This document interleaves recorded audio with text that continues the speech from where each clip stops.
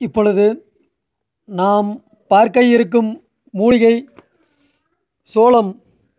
இந்த சோளத்தில் மட்டும் வெண்சாமர சோளம் வெள்ளை சோளம் கருப்பு சோளம் பழுப்பு நிற சோளம் சிகப்பு சோளம் மக்கா சோளம் என பல வகை உண்டு. அந்த வகையினில் இப்பொழுது நாம் பார்த்து கொண்டிருப்பது மக்காச்சோளம் என்ற மூலிகையின் மகத்துவத்தை பற்றி பார்த்து கொண்டிருக்கின்றோம்.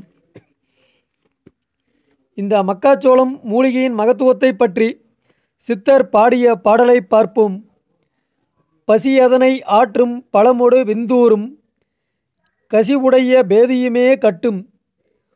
உசிதமிகு தக்குவார் வென்றிதனை சான்றிடுவர் மாதரசே மக்காச்சோளத்தால் மகி. சித்தர் பாடிய இப்பாடலுக்கு உண்டான விளக்கத்தினை பார்ப்போம்.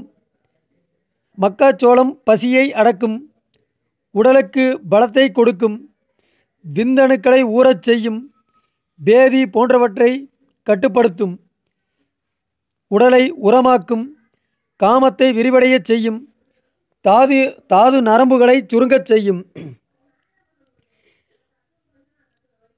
அதிக இலசாகவும் முதிர்ச்சியாகவும் இல்லாத நடுத்தரத்தில் உள்ள மக்காச்சோள கதிர்களை கறி நெருப்பினில் வாட்டி எடுத்து அல்லது வேக வைத்தும் எடுத்து சாப்பிடுவதுண்டு.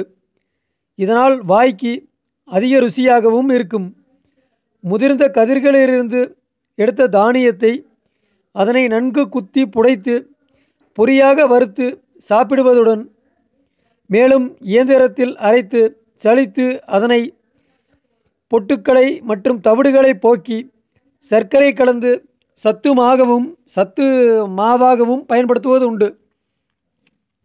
சில இட மக்காச்சோளத்தை குத்தி புடைத்து மாவாக அரைத்து அதன் வஸ்திரத்தில் ஜலி மேல்தோல் நீக்கி கூழாக காய்ச்சியும் அடையாகவும் பயன்படுத்தி வருகின்றார்கள்.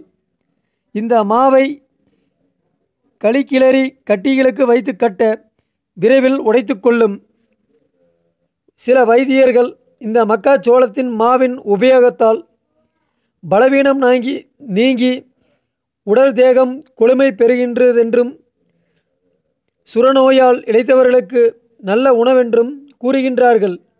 சாதாரணமாக கான்ஃப்ளோர் மாவென்றும் கடைகளில் விற்கப்படுகிறது. பெரும்பாலும் இந்த மக்காச்சோளத்திலிருந்து தயாரிக்கப்பட்ட பவுடர் மட்டுமே. பொதுவாக எட்டு அடிக்கு மேல் வ வளரும் தன்மை உடையது இந்த மக்காச்சோளம். இலையானது சுவை போல அமைந்திருக்கும். பூக்கள் கதிர் போல செந்நிறத்தில் காணப்படும். இதனுடைய காயை மக்காச்சோளம் என்று அழைக்கின்றார்கள். மக்காச்சோளத்தை அவிழ்த்து சாப்பிட்டு வர பட் பற்களை இறுகச் செய்யும். இட்லி அரிசி மக்காச்சோளம் அரிசி இவற்றை சம எடையாக எடுத்து தோசையாக செய்து சமைத்து சாப்பிட்டு வர அனைத்து விதமான வைட்டமின் சத்துக்களும் கிடைக்கும். முகம் அழகாக விரும்பவர்கள் மக்காச்சோளத்தை உலர்த்தி அதனை பொடியாக செய்து அதனுடன் எலுமிச்சை பழச்சாறும் கலந்து முகத்தில் பூசி வர முகம் அழகாகவும் பளபளப்பாகவும் எண்ணெய் பசை மற்றும் வடு போன்றவை சரி செய்யும். மேலும் முகப்பருப்பு முகப்பருக்களும் படிப்படியாக குணமாகும். இரத்த குழாயில் உள்ள அடைப்பை சரி செய்வதற்கு மக்காச்சோளம் முக்கிய பங்கினை வகிக்கின்றது. நன்றி வணக்கம் வாழ்க வளமுடன். ஓம் அகத்தீசாய நம.